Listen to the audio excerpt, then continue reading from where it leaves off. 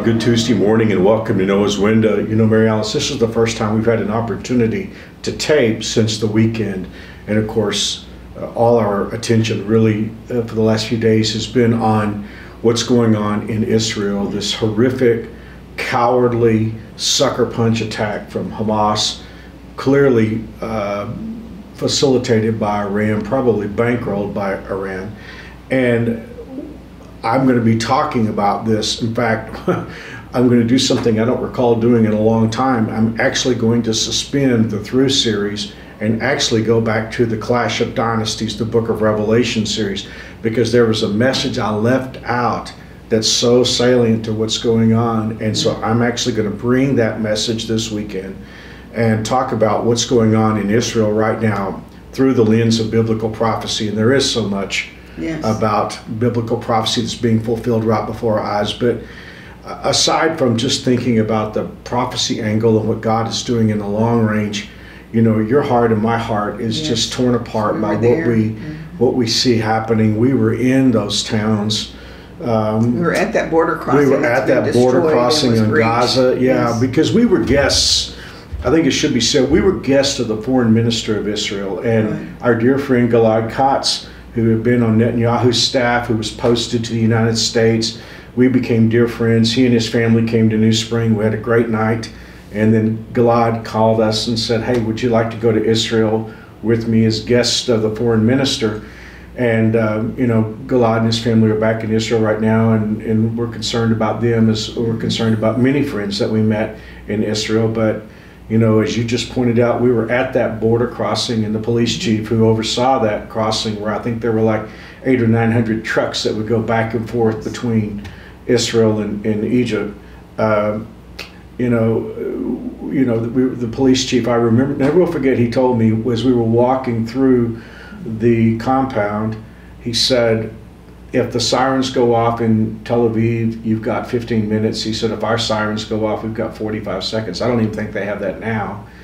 Um, and then we went to Sderot, and the deputy mayor took us through and showed us, you know, showed us that beautiful town that we can't get out of our minds. It was such a beautiful town, peaceful people, sweet people, music loving people, mm-hmm. and to think about what's going on in Sderot. There was a concert there that one of the places where the the terrorists came over and just mowed people down. And, you know, concert. I can, I, in my mind, I still see the children riding their bikes in Sderot, mm-hmm. and I see the elderly sitting on benches, and sit, you know, eh, they're just the sweetest people in the well, world. And that border crossing to Egypt, I saw a reporter last night who said someone was asking uh, the government, you know, are you going to let the Palestinians come over at that border crossing? And they said, what border crossing? It's been yeah. destroyed. It's and been, so yeah. the friends that we met, oh, I, I remember the the um, police chief there who was in charge of it, and we met with him personally for uh, probably a couple of hours. Yeah, yeah. And then just the people there that were taking care of the compound, and you think most certainly they've been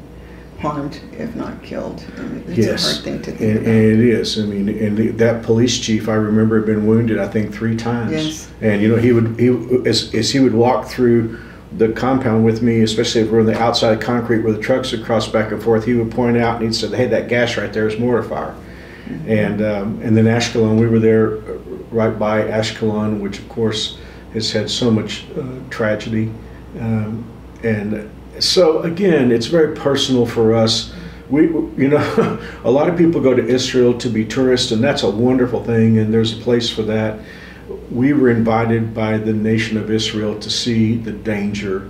You know, the foreign ministry wanted us to see the danger that they're in every day. And of course, they took us up on the north border of Syria. Mm-hmm. And, um, you know, we got to hear the heartbeat and the anguish of the people yes. in this. Uh, uh, ongoing battle, which you and I know this is a spiritual battle. it, it is. And you know, the myth is that the Israelis are hostile to Palestinians. Yeah. And you know, I was just thinking about when we were at the border crossing, half the guards with automatic weaponry were, were Jewish and half were Palestinians, and they were side by side, yes. you know, guarding Israel. And, and so it, it is these terrorists, and that is what they are. Yes. They're, they're you know, Hamas is, is uh, it's not a re- I mean it's not a real nation. Uh, no. It is it is a it is a group of people bent on the destruction of the nation of Israel, and that's what it needs to be called. That the United yes. States needs to quit fumbling around trying to find some kind of middle ground between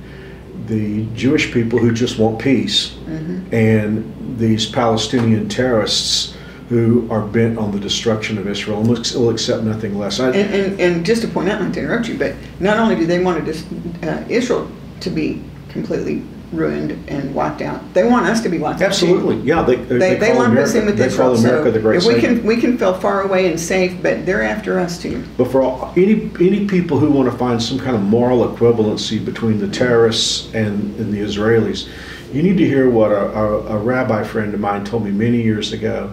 He said, if the terrorists laid down their weapons, there would be no war he said, if the Israelis laid down their weapons, there would be no, Israel. And, and that is that is the difference right there. And unfortunately, it doesn't get told very often. Well, I didn't mean to go off on a tangent because we were going to open the Bible today, but your heart and my heart yes. is deeply touched. And as I thought about Sderot, I just could, couldn't stop weeping uh, when this happened because the memories are just so fresh in my mind of how sweet those people were. They were and, and I remember asking, you know, when we, because the deputy mayor was a woman, she was yes. so kind, yeah. and uh, and you think those people were under attack, so almost constantly. Well, and again, I'll probably mentioned this this coming weekend, but you know, uh, the deputy mayor took us around behind the police station. You remember there was a huge yes. yard that was surrounded by chain link fence. Uh-huh. And there was all this misshapen metal out there, and she said these are all rockets, uh, what's left over of rockets that have been sent into Sderot, which I think was the most rocket fired upon town yes, in Israel. So. And uh, but what, of course, my memory always get emotional. I think about this was we as we were driving through the streets of Sderot, there were the most beautiful parks, and all these parks had modern art metal. Uh, constructions of musical instruments. There were tubas and pianos and saxophones and trumpets and all these things. There were there were bright colors out there, and I was just taken by it. And I remember I asked Gilad, uh, or I just said, "Hey, I just find this so interesting that they've got musical instruments, you know, in modern art representations made out of metal." And Gilad said, "All those instruments are made from rockets that were sent over." The other memory I remember there there were because there are people living there, men, women, boys, and yes, girls, and there yeah. there were playgrounds that had like very colorful long things that look like a big caterpillar, and they said that's a bomb shelter. So right. when the sirens go off, the little children playing in the playground can run into that bomb shelter. Can you imagine if our children and our grandchildren oh, had to know that anytime they're out on a playground, they should be prepared if they heard the siren to run into a shelter? Um, it's just, but I was going to say, one of the questions I had when we were there was why do these people stay here under mm-hmm. this kind I of remember threat? you asking and, and, she said, but this is home. This is home. Yep. This is their home um, you know, where would we go?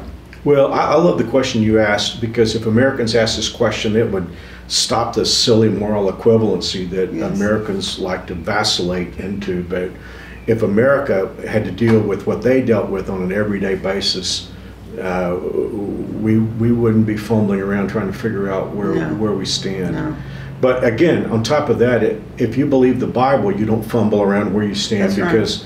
Right. Um, the Bible tells us to pray for the peace of Israel, pray for the peace of Jerusalem, and of course, there are now rockets uh, being fired toward Jerusalem. And so, yes. you know, we're taping this on Monday. Who knows what's going to happen by the time you watch this on Tuesday? But I do know this I know God is in control, and, and this weekend, as strange as it may sound, we're going back into Clash 4 for the final sermon. Uh, on Israel. And uh, so bring your Bible and open it to the book of Revelation because we're going to see something really interesting this coming weekend.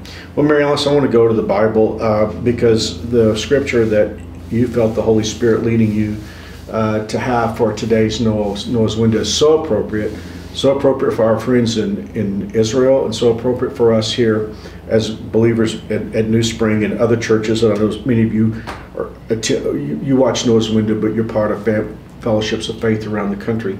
This verse is just so important. Uh, Jeremiah is in difficult times. Uh, he has to prophesy when the people of Israel, or Judah rather, are going to be attacked from Babylon, and God is trying desperately through Jeremiah to get the people to pay attention to him so that judgment can be stopped. And it's very clear that the people are not listening to Jeremiah, um, that judgment is going to happen. And here's what God says to Jeremiah, and I think we can take peace from this today. The Lord replied, I will take care of you, Jeremiah. Your enemies will ask you to plead on their behalf in times of trouble and distress. So let, let me just back up for a moment and explain what's going on. Jeremiah is prophesying what's going to happen to the people if they don't turn around. They don't want to hear it. Mm-hmm. They want Jeremiah to shut up. Eventually, they'll demand that Jeremiah be arrested. But what God is saying to him is look, judgment hasn't started yet. And when it starts, two things are going to happen. God said, I'm going to take care of you. And those same people that have been making fun of you and ripping you, they're going to come and ask you to pray for them. So, Mary Alice, I know we're talking about a specific time in the history of Judah, but I think this verse has something to say to you and me today. Absolutely. And not only were the people at large opposed to Jeremiah, but I think maybe even more importantly, the other prophets yes. were oh, attacking yes. him because they didn't like his message. Well, of course, they were false prophets mm-hmm. because they didn't really have a word from God. And because Jeremiah's true word from God was contradicting them, they would attack Jeremiah. They, they attacked his message and eventually they attacked him yes, himself. So um, I think Jeremiah felt like he couldn't win on any on any level. Well, these prophets and priests were popular with the people who didn't like Jeremiah's message, and we didn't read this today, but you and I've read in our one-year Bible these prophets. They were doing the same things that these people were doing. They were into, you know, having their own estates and their own, you know, their own, it's all about their money own, and, and they were, and power. They were yes. getting drunk and throwing parties. Well, if these prophets are doing that, they don't want to hear what Jeremiah's no, got they don't want to hear those messages. And I think that is a parallel to today too. We need to be able to distinguish clearly what is a true uh, message from God and what is a false message. And in our culture and in our country, there are a lot of so-called people that are saying what God says or what God should doesn't say, but it isn't true to the word. And we need to be careful to discern truth from error um, and not be taken in just because uh, someone says they're a prophet. Now, there were more of them than of Jeremiah. That's always so the case. it seemed like he was, you know, like he couldn't be right because there were more of them. But I think we need to scratch below the surface and um, and ask for God's guidance and to be to know that God's never going to contradict His word. Well, it's never a vote. Thank you. It's never a popularity contest. Yeah. There were 850 prophets and priests of Baal, and only one Elijah. You know, yes. there were a whole bunch of you know prophets so-called on Ahab's payroll. There was only one Micaiah, but God, of course, confirmed His word through Elijah, through Micaiah, through Jeremiah, and all His prophets. You know. I think it's interesting that particular scripture about the enemies coming to Jeremiah when they're in times of distress, and I think that happens to us. I've seen that even in my own lifetime. People that, uh, in spite of what they've been taught in God's word, they have stubbornly refused and gone a different way. But then when it all falls apart, they run back. Um, but we do know in Jeremiah's case, at the end, when it when it's obvious that everything's going down the king even calls for Jeremiah mm-hmm. secretly. Right. Secretly. he still doesn't want the, you know, he, he's still worried about the politics of things and he calls him and secretly he wants to know the truth. What's interesting to me is he wants to know the truth, but he doesn't respond to the truth. No. But he wants to know. It's a curiosity. And he thinks he can outwit God. Yeah, I, I, people are messed up on this the reason why this king doesn't want to do what Jeremiah said, he's worried about the high cost of following God. Somebody needs to worry about the high cost of not following yes. God, you know? But aside from talking about prophets and Bible times and even preachers in our time, I know, I know this is going to mean something to uh, several of you, if not a lot of you watching this on Noah's Window today.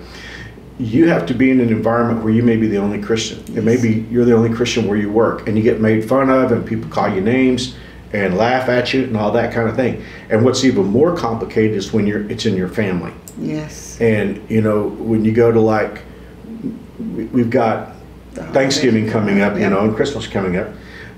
You know, it's possible for a family to rip a Christ follower and why do you why do you not do this and why do you do this and all that.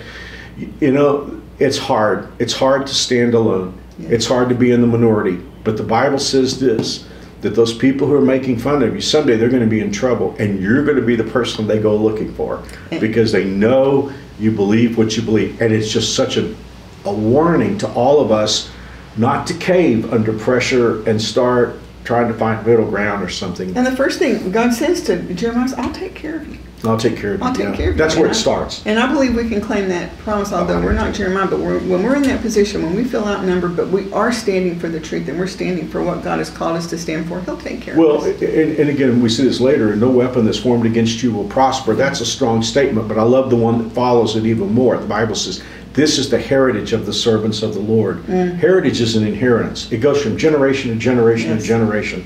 You know, whether you're talking about uh, Abel or Moses or you know Joshua, or you're talking about King David, or you're talking about the prophets, or you're talking about the apostles, or whatever. The Bible doesn't say no weapon will be formed against you; just said it won't prosper. Yes. So we, we can trust the Lord to take care of us and we can have the courage to stand alone because He'll take care Well, of us. Well maybe we need to save some of this for tomorrow's. Yes. there's, there's so much so in this thank you for listening to a long Yes. Noah's window. But Mary Alice, would you pray for us? Yes, today? let's pray. Oh, Father, we come before you um, humbled by what we see and hear that's going on around us, Father. And I just pray that you'd have mercy on those in Israel that are under attack.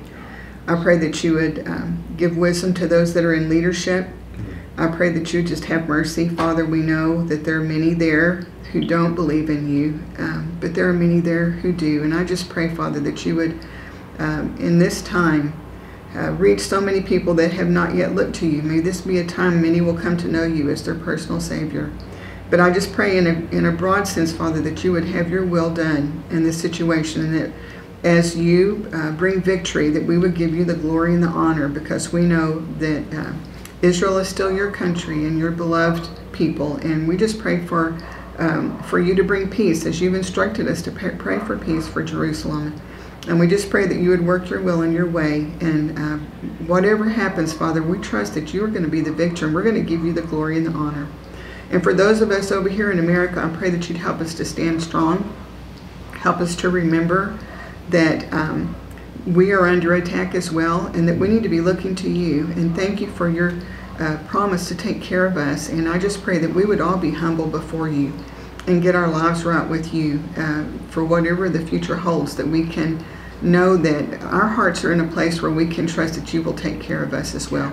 For everyone that's watching or listening on Noah's Window today, I just pray a special blessing on their life, whatever the day holds, whatever the news that comes their way. I just pray that you would be present, draw them close to you, give them guidance, wisdom, comfort, peace. In all things may you be glorified, and we'll be careful to give you the praise. And we ask all these things in Jesus' name. Amen. Thank you for praying for us, Mary Alice, and for praying for Israel. Thank you for joining us on Noah's Window. I know today went kind of long, but we had a lot to say. We did a lot to talk about. we'll see you tomorrow. God bless. See you soon.